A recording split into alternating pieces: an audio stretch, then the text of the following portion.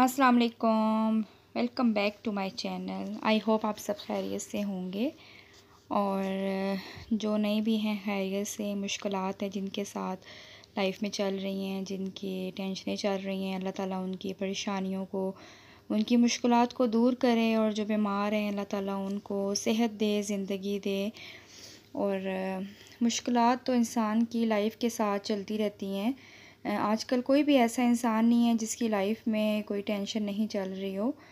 हर किसी के साथ कोई ना कोई इशू है, कोई ना कोई मसला होता है। तो बस ये है कि मायूस नहीं होना क्योंकि मायूसी कुफर है। हमेशा अच्छे की उम्मीद रखनी चाहिए तो आपकी लाइफ में हमेशा अच्छा होगा।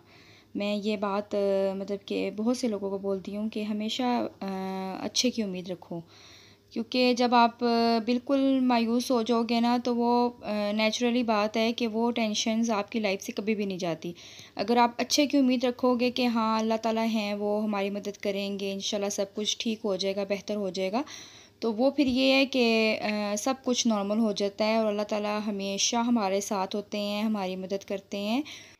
मेरी लाइफ में भी एक टेंशन चल रही है तो इन अल्लाह ने चाहा तो। सब बेहतर हो जाएगा सब ठीक हो जाएगा। अच्छा तो यहाँ पर आ, मैं आज आपके साथ आ, एक मतलब के चीज़ शेयर कर रही हूँ कि बहुत से लोगों का मैंने सुना है कि हर का ये हर किसी का यही मसला है कि अभी हमारे बाल गिर रहे हैं ना। सर के बाल हमारे गिर रहे हैं बहुत ज़्यादा और कुछ समझ नहीं आ रही क्यों गिर रहे हैं किस वजह से गिर रहे हैं ये कर लिया वो कर लिया लेकिन बाल मतलब कि नहीं मतलब कि ठीक हो रहे। तो आज मैं आपको एक घरेलू टोटका बताती हूँ, जिससे मैं आपको गारंटी के साथ बोल सकती हूँ कि आपके बाल गिरना बिल्कुल बंद हो जाएँगे और इसके अलावा जो है आपके बाल लॉन्ग हो जाएँगे, उसमें थिक हो थिकनेस आ जाएगी थिक हो जाएँगे, जिनके मतलब के होते हैं, किसी के पतले बाल होते हैं, वो थिक हो जाएँगे, घने हो जाएँगे। तो प्याज के पानी का आपने सुना हुआ है कि प्याज का पानी बालों पे लगाने से बाल मतलब के बढ़ना स्टार्ट हो जाते हैं।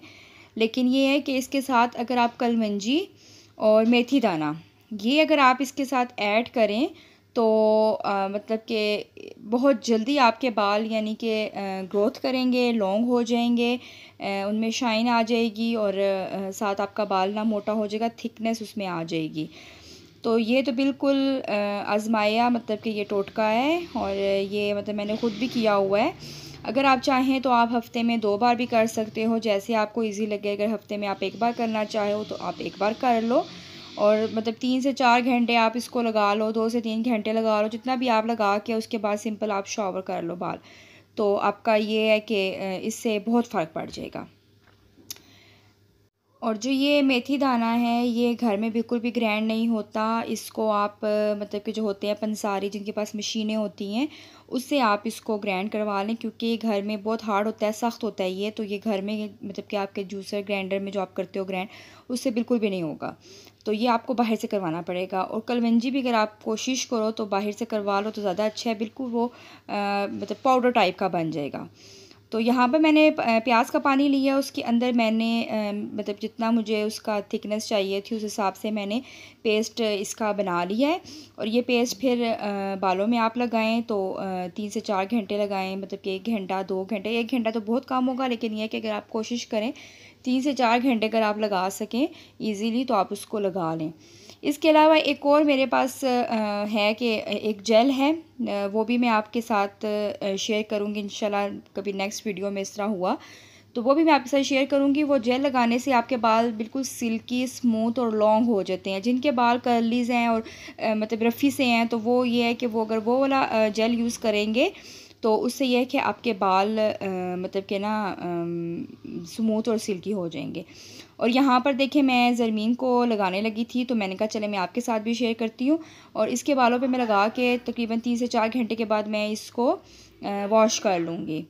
तो वैसे तो मैं करती कि नहा करती कभी मतलब मैंने सोचा नहीं था कि मैं इस तरह का मतलब कि आपके साथ शेयर करूँगी लेकिन ये कि अभी मैं इसके बालों पे लगा रही थी तो मैंने कहा चले मैं आपके साथ भी शेयर कर लेती हूँ।